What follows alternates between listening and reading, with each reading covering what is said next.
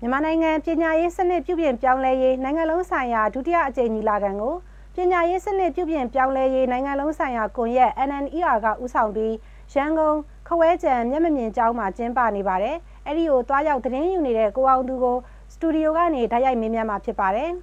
။ဟုတ်ကဲ့ကိုအောင်သူရေအခုညီလာခံမှာဘယ်အဖွဲ့တွေဘယ်သူတွေတက်ရောက်တာကိုတွေ့ရပါလဲရှင်။ဟုတ်ကဲ့ခင်ဗျဒီကနေ့ညီလာ ကံမှာတော့ကျွန်တော်တို့ဒီဒီနယ်တိုင်းအသီးသီးမှာရှိနေတဲ့ဒီပညာရေးကွန်ရက်ကအဖွဲ့အစည်းတွေရက်ဖက်လူမှုအဖွဲ့အစည်းအသူတွေနဲ့ကျွန်တော်နိုင်ငံရေးပါတီအသူတွေနောက်ပြီးတော့ NCCT အဖွဲ့ဝင်ဥခုံကလည်းဒီပွဲမှာလာတက်နေတာတွေ့ရတယ်ခင်ဗျ။အော်ဟုတ်ကဲ့ပညာရေးစနစ်ပြောင်းလဲရေးအတွက်အဓိကဘာတွေကိုဆွေးနွေးကြမယ်လို့သိရပါလဲရှင်။ ဒီကနေ့ပညာရေးပြုပြင်ပြောင်းလဲမှုအတွက်ကိုသူဒီကနေ့ဒီမှာဆွေးနွေးနေတာတော့ဒီပညာရေးနဲ့နိုင်ငံရေးနဲ့ပတ်သက်မှုတွေပြီးတော့ပညာရေးနဲ့ကျွန်တော်တို့ရပိုင်ခွင့်အခွင့်အရေးတွေပြီးတော့ပညာရေးနဲ့ပတ်သက်တဲ့ဥပဒေတွေနောက်ပြီးတော့ပညာရေးဟာဒီလို့ဆွေးနွေးနေတာတော့ရှိတယ်ခင်ဗျ။တိုင်းသားတွေကတော့သူတို့ပြည်နယ်နဲ့တိုင်းဒေသကြီးတွေဒေ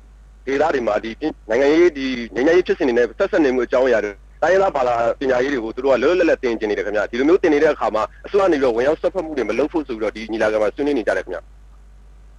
အာဟုတ်ကဲ့ဟိုခုနကလေဟိုနီးပညာအခက်အခဲကြောင့် connection လေးခဏပြတ်သွားလို့သူတို့တွေဟိုခုနကဥစ္စာလေးပြန်ပြောပြပေးပါလားရှင်ဟို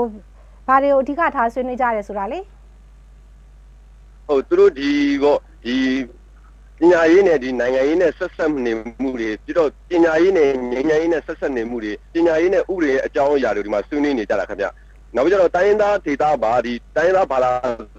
ဒီဟိုတင်တဲ့အခါမှာလွတ်လပ်တိုင်းသားဒေသတွေမှာတင်မှုအတွက်ကိုအစိုးရကနေပြီးတော့ဝင်ရောက်ဆက်ဖက်မှုတွေမလုပ်ဖို့ဆိုပြီးတော့ဒီမှာဆွေးနွေးနေကြတယ်ခင်ဗျအော်ဟုတ်ကဲ့အခုလိုမျိုးဟိုပြန်ဖြေပေးတာကျေးဇူးတင်ပါတယ်နောက်ဆုံးမေးခွန်းလေးမေးပြရစီရှင်အဲ့ဒါတော့ပညာရေးစနစ်ပြောင်းလဲဖို့အတွက်လွှတ်တော်တို့ဒီပညာရေးဝန်ကြီးဌာနတို့တက္ကသိုလ်တို့ အဲအဲ့ဒါတွေနဲ့ရောပူးပေါင်းဆောင်ရွက်ဖို့အစီအစဉ်ရှိမှလားရှင်